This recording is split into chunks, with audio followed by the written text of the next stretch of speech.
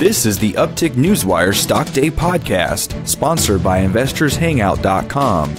Subscribe to us on iTunes and YouTube to stay up to date on penny stock news and interviews, public information on OTC, pink sheets, and microcap stocks from around the world with your host, Everett Jolly. On today's show, I'm bringing back a returning company. They were on my show actually a couple weeks ago. We're talking about Signet International Holdings Inc. They trade on the OTC markets under the ticker symbol SIGN. And a couple weeks ago, the CEO of the company was on our show.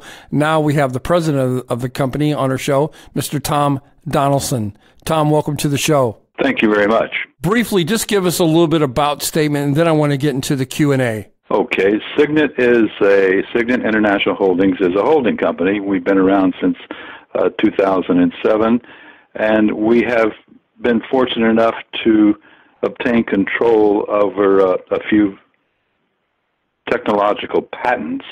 Uh, two of them being uh, owned by the owned and developed by the Florida International University, and we have obtained the rights to those patents. And another one is in the medical field. Uh, one that is producing the most interest right now in the market appears to be uh, our new battery, or not really a battery, it's a new energy saving device, which is used just like a battery, uh, which will instantly recharge. And when I say instant, I mean within five or ten seconds, uh, up to uh, right now we're working around the area of 12 volts. It can be much larger than that in all different sizes and we will have that ready. We're hoping uh, possibly as early as 24 months from now to bring to market. Wow. So that product will be ready for market and you'll be able to monetize that, you're saying, within 24 months? Well, we are hoping it's possibly as early as 24 months. It is, it's moving rather rapidly.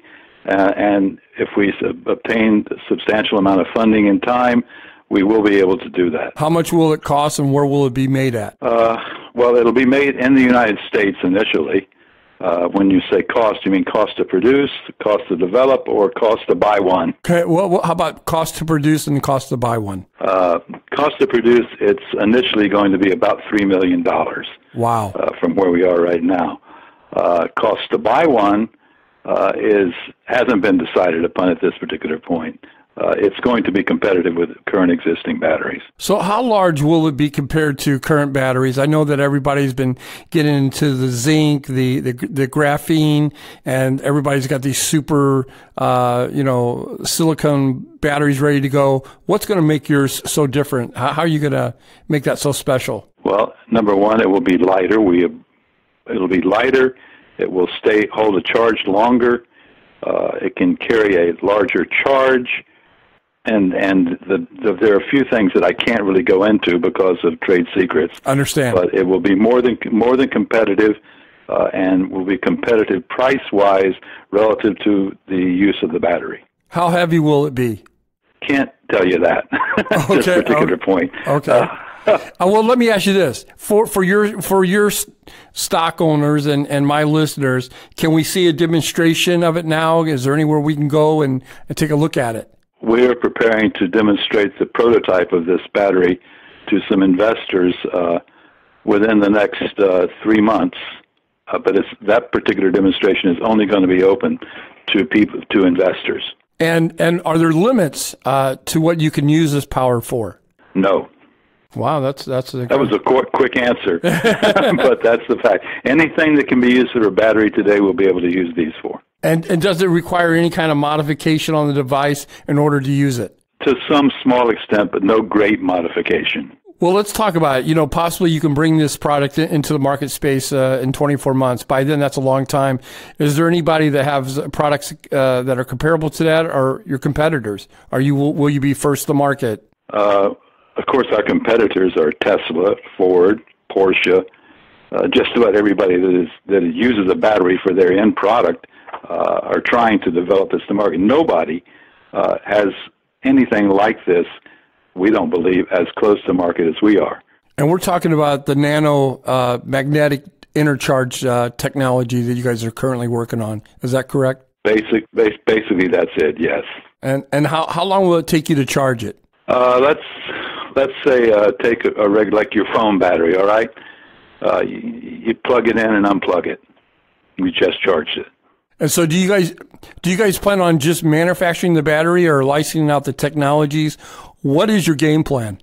Well, at this particular point in time, uh, we had we're planning on manufacturing it ourselves, but given the amount of uh, capital required to do that, we of course would be open to uh, any kind of uh, licensing agreement that would be offered that we would be make money for our shareholders.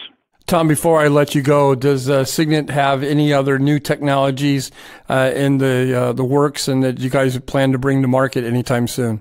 We actually do. We're working on two other types of technology. One is a new method of de-icing airplanes. You know, when when it's freezing outside and you're going somewhere in a plane, they have to de-ice the plane Absolutely. before it can take off very often, which takes quite a bit of time. And we have also uh, developed by Florida International University's technical people a method of de-icing a plane that does it 477 times faster than current technology. Wow.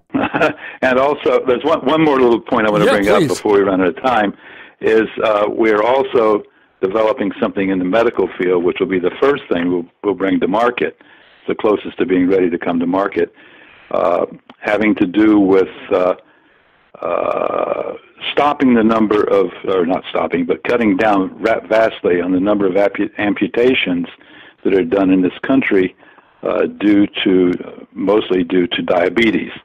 Uh, do you know that there are over 185,000 amputations done annually in the U.S. alone due to diabetes? And we have a different way of getting oxygen into the blood system, which is what causes the amputations to have to be done we have a new uh, device to be used during the operation, which will stop that from happening and get plenty of oxygen to the blood. Wow. We call it the con Conreap. Well, my guest today is uh, Tom Donaldson. He is the president of Signet International Holdings, Inc. You find him on the OTC markets under the ticker symbol SIGN. In closing, Tom, is there anything that we didn't get a chance to mention that you would like to bring to the forefront here? uh, only that uh, Signet is been around for a long time, and we're still there, and we are going to, uh, we believe we're going to be very profitable for our shareholders in the near future. Tom, I want to thank you for coming on the show. It's always a pleasure to have some sort of representation coming from your company. I wish you guys nothing but the best. Hopefully, you you guys become a regular and uh, come on the show every 40 or 50 days and give us an update of what's going on over there. Sounds good to me. It's been a pleasure. Thank you very much.